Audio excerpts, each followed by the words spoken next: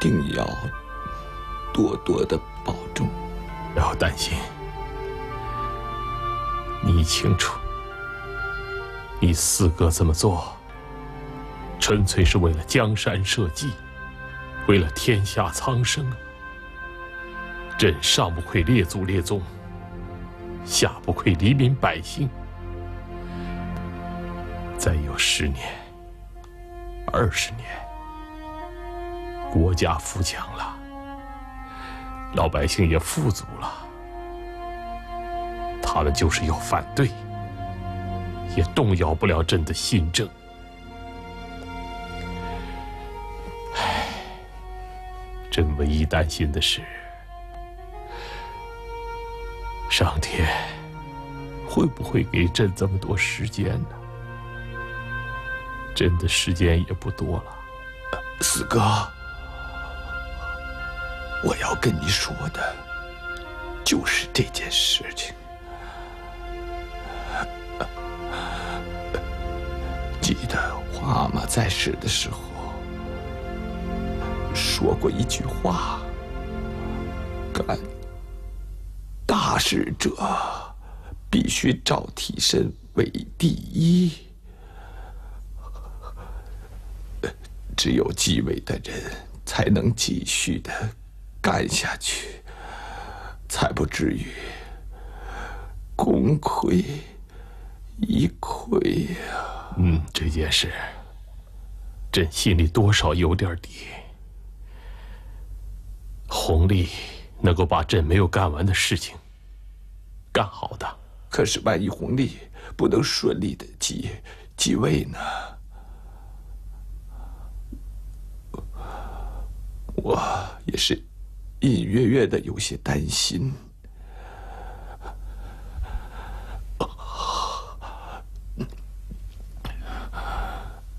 皇上，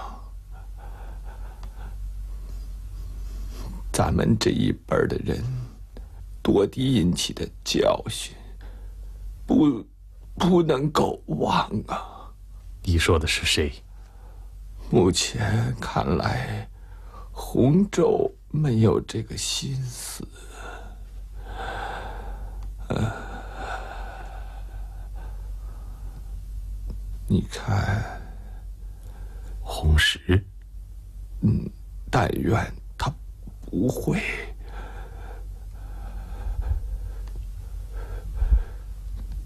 但皇上要多留个心眼儿。我总觉得，在他的身上有八哥的影子。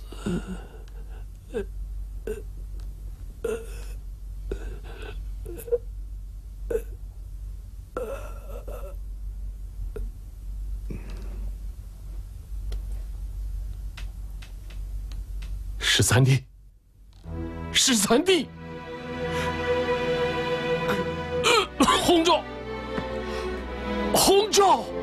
来人！来人！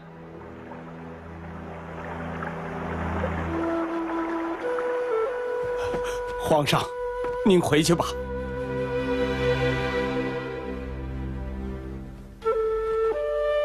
赵五哥，难得你有这样子一片孝心。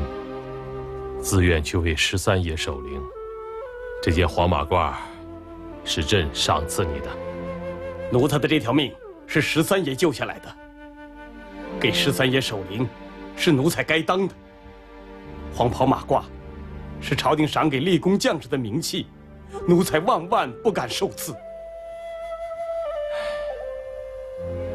你替朕好好守卫十三爷的陵墓，你就是朝廷的功臣。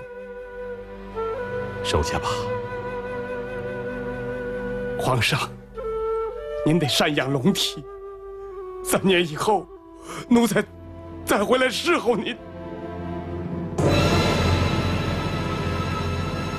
知道了，你去吧。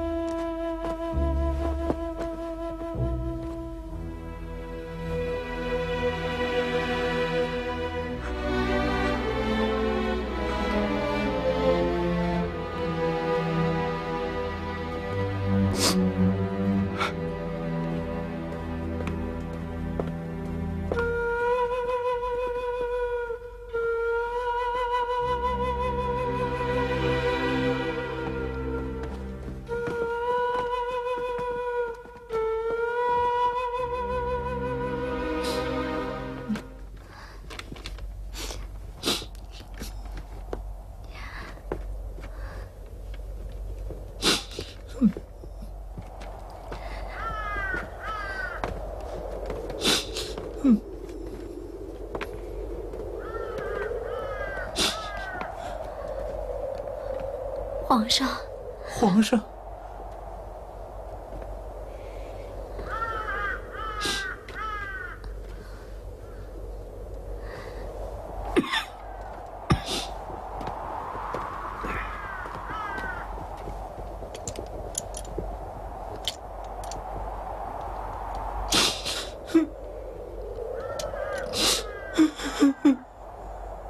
秦顺儿，皇上，那只荷包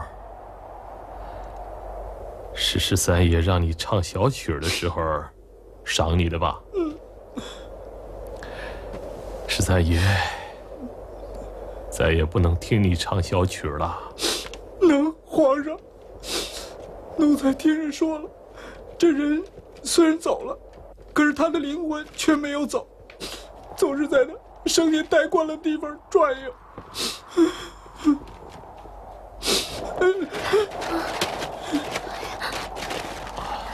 不要怕，不要怕。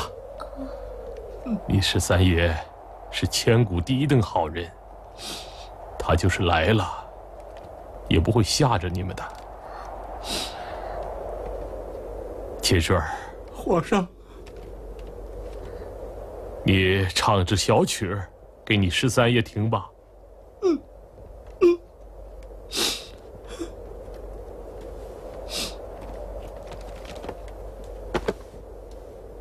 十三爷，你老在世的时候看得起奴才，喜欢听奴才唱曲儿。现在奴才再唱给你，要是你喜欢托个梦，奴才每天晚上都到这儿来唱给您听。别说了，快唱吧，怪瘆人的。初一到十五，十五的月儿高，那春风吹得洋洋杨柳梢。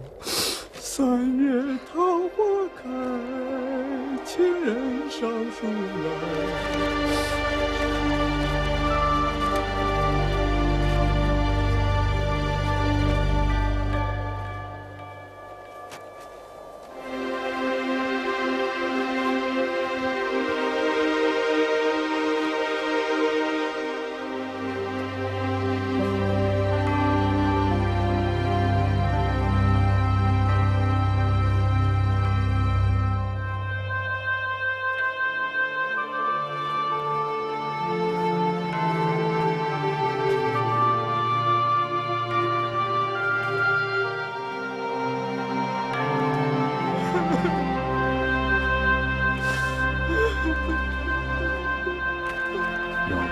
不是阿奇拿塞斯黑他们，你十三爷也不会这么快走了。你们说是不是？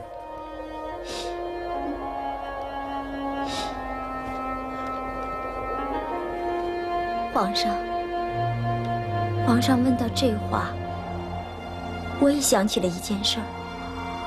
嗯，那一年，十三爷到景陵去，去劝十四爷。十四爷不理解他，十三爷急得都吐了血。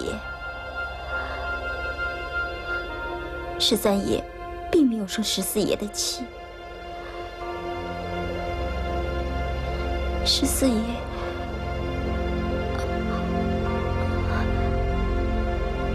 我想，十三爷他做的对。如果十三爷在天有灵的话，一定也会劝皇上，不要对八爷他们太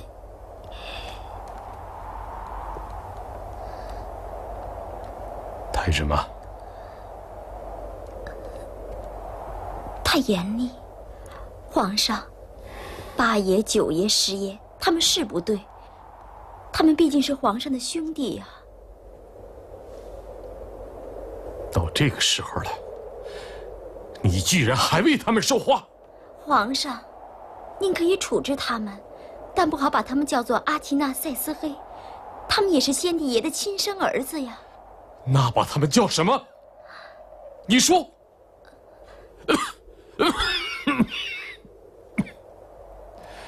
朕知道，你心里还在想着他们，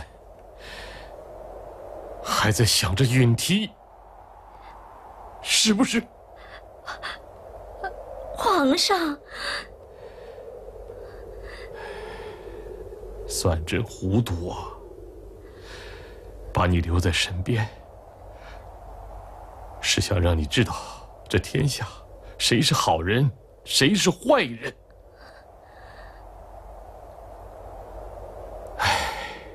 现现在看起来，这天下就没有什么有良心的人。你走吧，回到允梯身边去，去。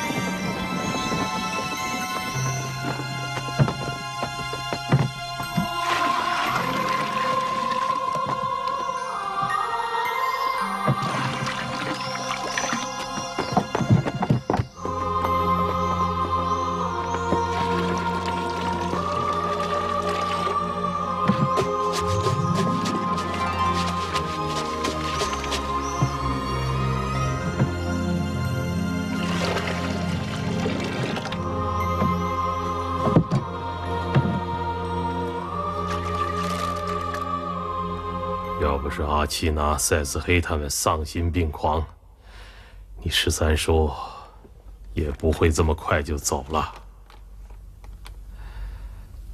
你说是不是啊？是。他们，他们真正是罪该万死。朕不能杀他们，朕不想落个杀弟的骂名，但是。也绝不能让他们逍遥法外。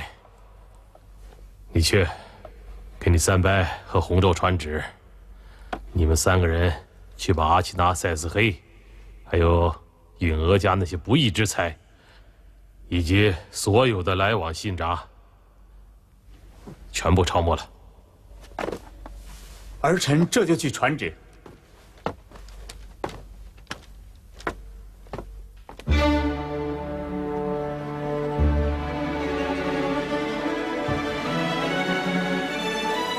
阿奇纳塞斯黑，自圣祖仁皇帝时，即心性险恶，勾结允娥及其同党谋权乱政。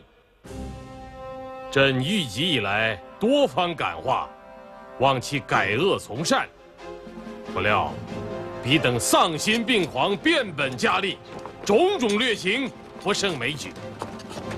此次，竟于朝堂之上妄图谋逆。自绝于列祖列宗。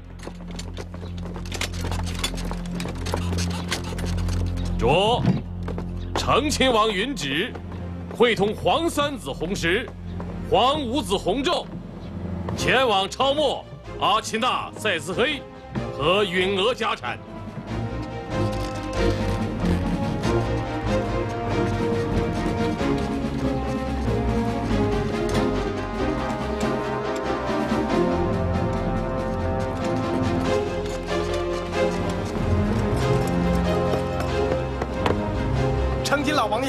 贝勒爷，五贝勒爷他，他他死了。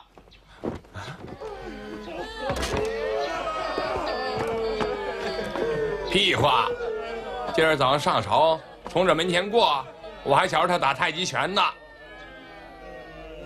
奴才怎么敢戏弄老王爷和三贝勒爷呢？二位您看看，门神都呼了，里头哭成一片了。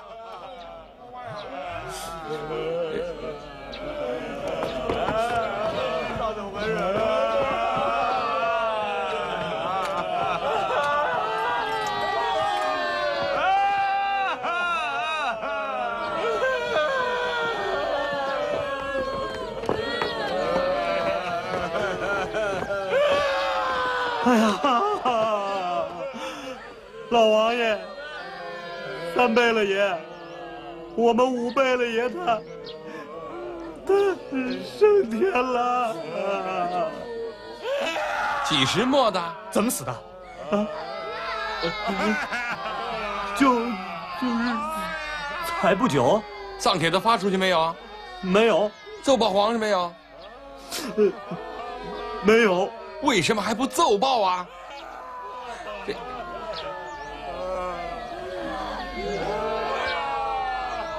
慢着！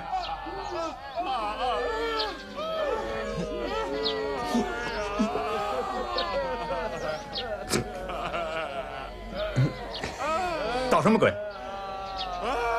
红肘到底怎么回事？回三贝勒爷，进去看看就知道了。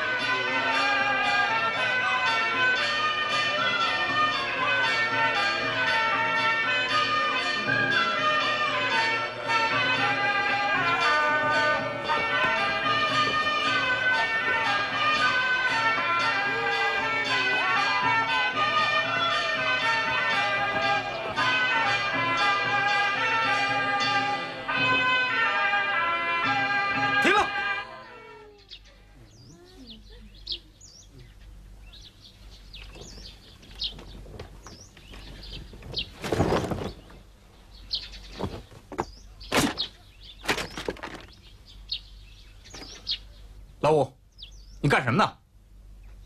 嗯，是三哥啊。哟，三大爷也来了。哎呀，老五啊，你闹得有点太出格了。哎，你到胡同口瞧瞧去，那看热闹的，没有一万也有七八千呢。你是越来越不像话了。上回弄了一百多个和尚和道士在家里胡闹，皇阿玛没追究你。这回你活出丧了，皇阿玛知道了，你还活不活了？话可不是这样说。上回安亲王活出丧，三大爷和我还去上祭喝酒呢。三大爷，您说是不是啊？安亲王都七十三了，你才多大？嗨，几个人能活到七十三呢？三哥，你抬抬手吧，让我过把瘾吧。好了好了，这把瘾啊，留着你以后再过吧。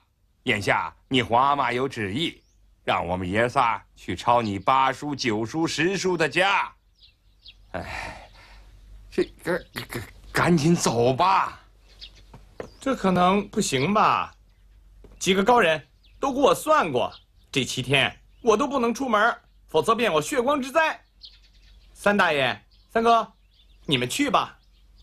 你疯了！这可是皇阿玛的旨意。皇阿玛那儿，我上折子说明。他老人家总不会眼睁睁的看着儿子惹上血光之灾吧？你，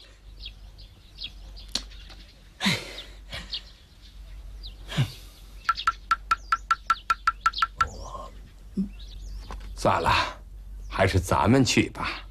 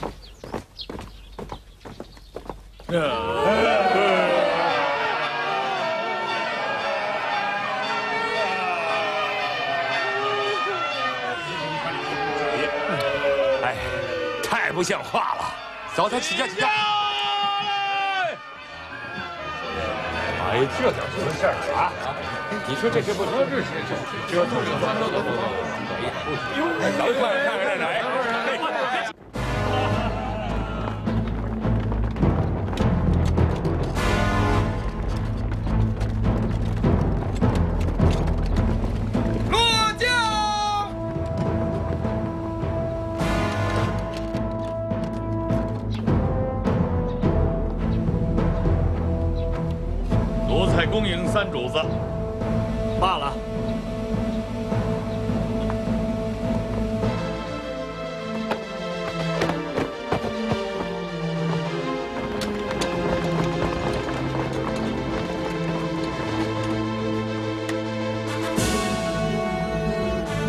我知道你们混账，花惯了抄家财，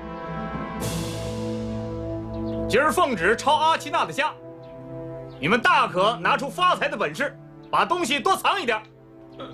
奴才奴才们不敢，奴才不敢便是你们造化。佟立臣，奴才在。把家眷和家人都集中在太监住的院子里，不许惊扰，等我发落。所有财物一体抄没，全都要造册呈报。书房和签押房由我处置。所有玉批和玉札和书信，抄拢后全部交给我。有胆敢偷看一个字的，他今儿个就甭想回去了。听到了吗？都听到了吗？听到！起来，抄！走，快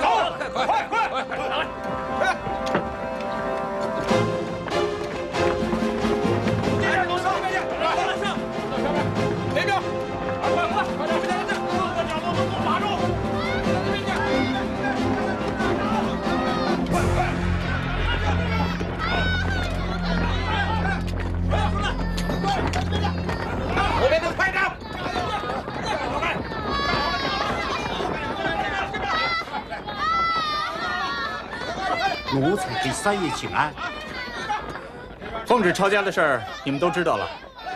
这是明摆着的事儿。八爷已经早就等着这一刻了。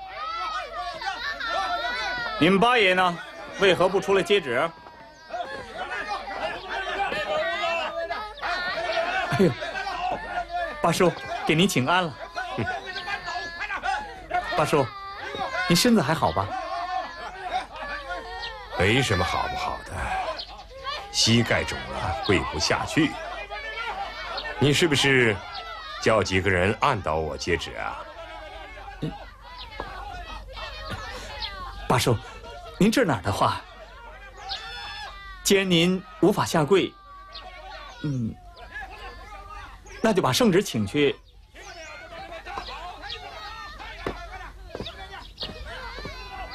您自个儿看吧。老三呐，难为你还能叫我一声八叔。其实你叫我阿奇娜，我总比听着爱新觉罗允祀受用。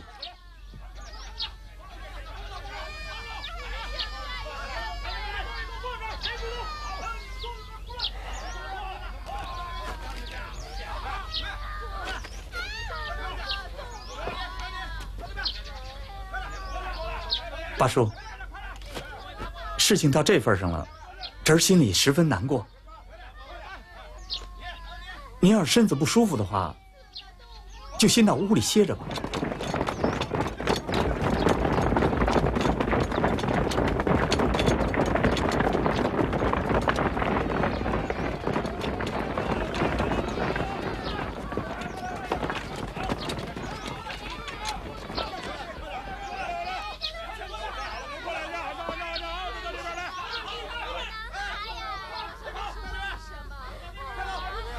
圣旨上说要把我的全部家产抄没，你们是不是要搜我的身呢？八叔，呃，不管怎么说，您也是圣祖仁皇帝的儿子，当今皇上的弟弟。便有一千条王法，也没有搜您身的这一条。我身上可有上千万两银子，你们要不搜，可就错过机会了。八叔说笑了。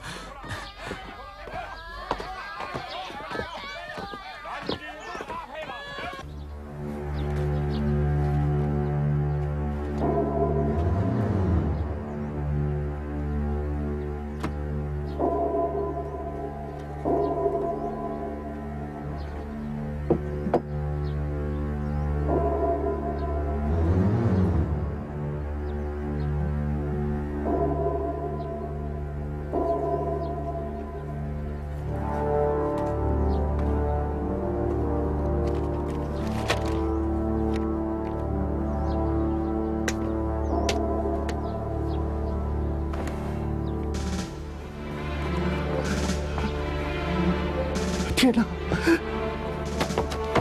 八爷，八爷，三位雷爷把所有的门人和家奴都赶到西院去了，说是，说是说，说是什么？一个不留，全都发配到云贵极边之地去。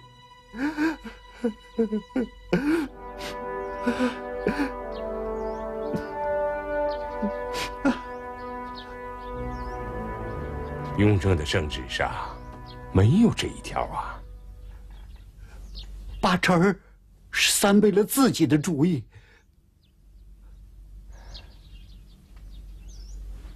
八爷，三贝勒的手段可比他老子还毒啊！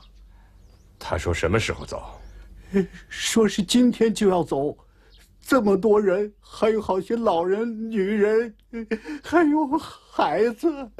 这一去可怎么了得呀！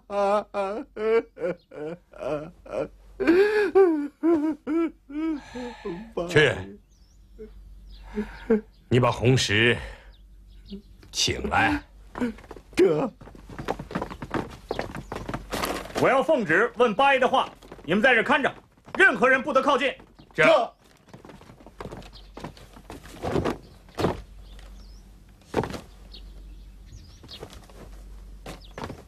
八叔，八叔，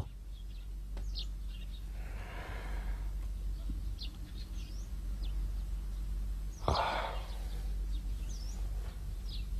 啊！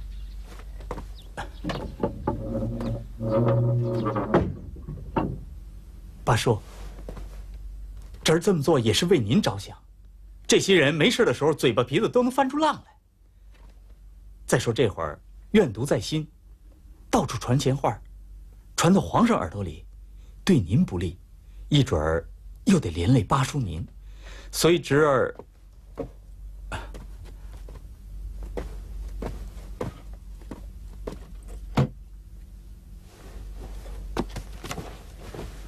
八叔，呃，你不用解释，你这样做我很高兴。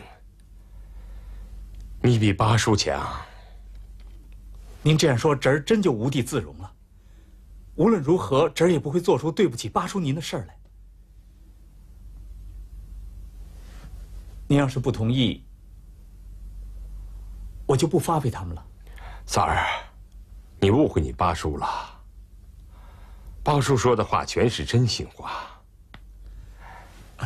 要成大事，就得像你现在这样。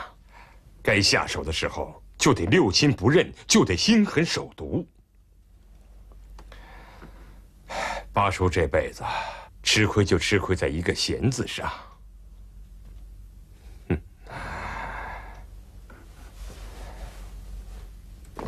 八贤王，八贤王，哎，贤有什么用？百无一用，哼！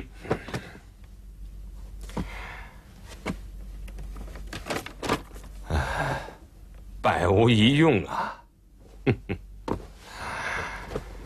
什么人心，什么德望，到头来都是一钱不值。三儿，你刚才进来，同我解释的时候，神色中仍然有歉然之意，这就说明你的火候还不够。你应该劝你阿玛，把我还有你九叔、十叔、十四叔全都杀了，而且我们不但不恨你，九泉之下，我们还感激你。啊，你别这样看着我。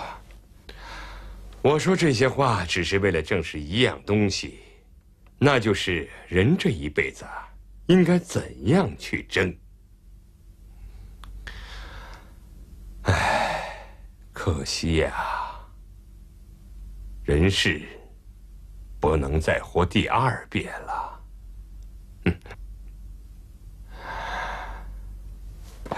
这个愿望，只有靠你自己去证实了。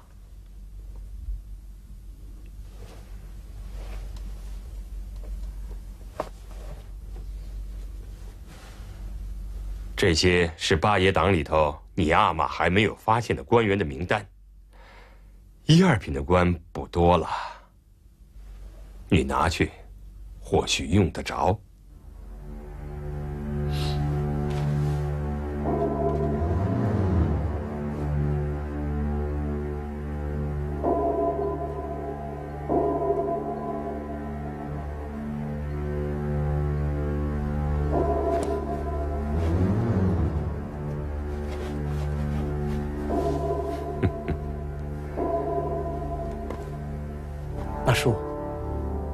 八叔幸运，你八叔这一辈子，你皇爷爷生了三十六个儿子，活下来的也有二十四个，而你阿玛只有三个儿子，所以太和殿那个位置不可能有第四个人去争。你过来，听八叔说。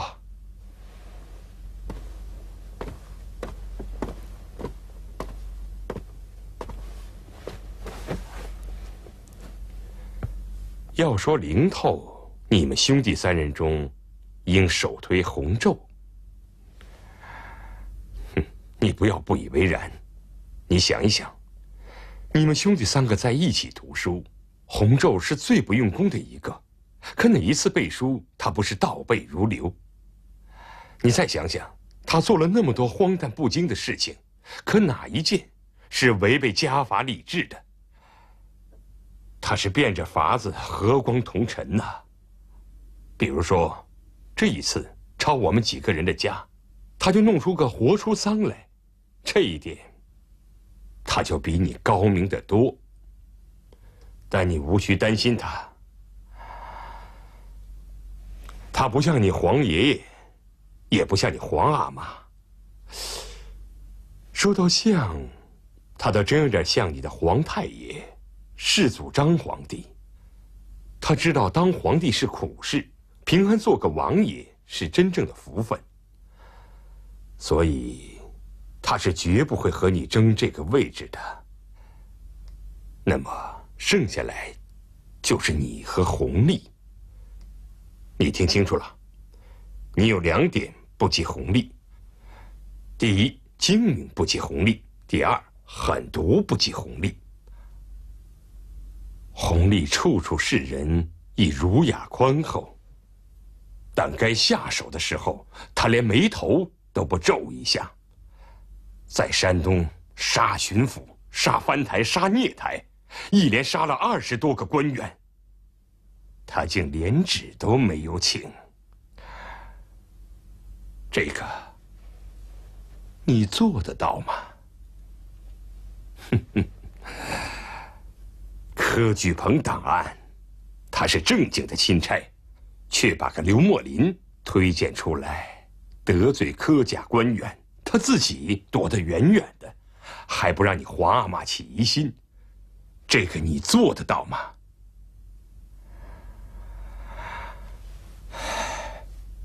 八叔说句话在前头，到了关键时候，他要杀你，他会毫不手软的。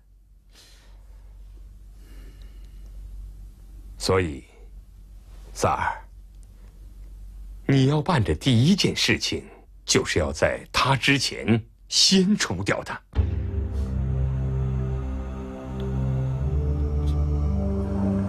三儿，先发制人，后发则为人所制。往锅里添水，不如釜底抽薪。你要是做不到这一点，将来的结局，哼，比你八叔还惨。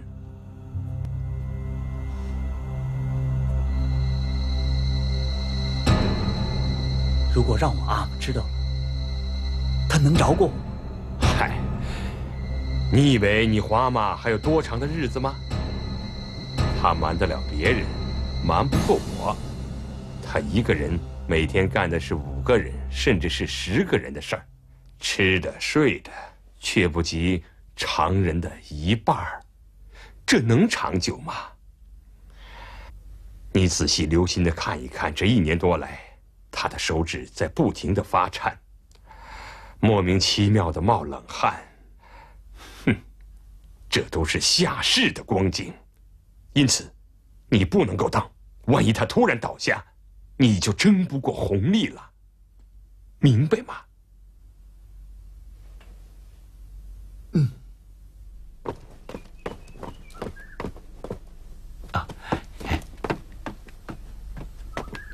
五爷，皇上今儿心情不好，您得小心点儿啊。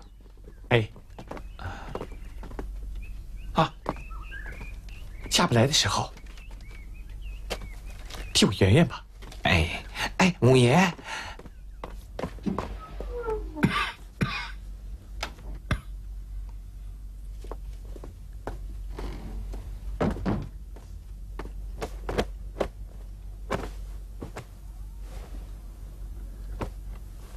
儿臣给皇阿玛请安了，起来吧。道场做完了，嗯。阿玛这时候把你叫出来，啊，哎，不会让你染上血光之灾吧？皇阿玛圣明，儿臣那些荤话本是搪塞世人的，儿臣，儿臣实在是因为办不好差事，怕到头来又给皇阿玛添乱子，才弄出这么个借口，请皇阿玛治儿臣欺君之罪。哼，你自己说出来了，就不算欺君。你这么做，阿玛也能理解。嗯，你整天跟那些和尚道士搅在一起，总比跟那些朝廷的官员搅在一起要好啊。嗯哼。哎，小小年纪就知道明哲保身，这一点呢，比你阿玛都强啊。皇阿玛，皇阿玛，儿臣百无一用之人，就在修上十辈子，也望不到皇阿玛的相背啊！哎，你也犯不着如此自意啊。其实呢，在你们兄弟三个当中，也只有你呀，真正有点像朕。哼，朕在你这个年龄啊，也和你一样，潜心佛法。从来都不愿意卷到争斗当中去。后来是，你皇爷爷一片苦心，硬是要把祖宗的江山社稷交给朕。哎，朕这也才勉为其难呢。皇阿玛这样说，儿臣就更羞愧无地了。皇阿玛就像天上的太阳，虽无意与人争辉，但光芒自然普照万物。儿臣本是萤虫之光，拿什么去争啊？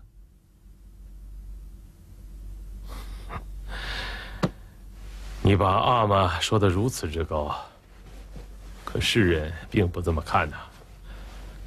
呃，岳钟琪今天报来奏折，说是有个叫曾静的湖南人，派他的弟子到他那儿去策反。给朕列了十大罪状，把朕说成是古往今来最大的暴君、最大的昏君，你看看吧。这些狂犬吠日的疯话，儿臣不缺一看，秦皇阿玛也不要理睬。嗯，你不看也好。可是朕不能不理睬啊。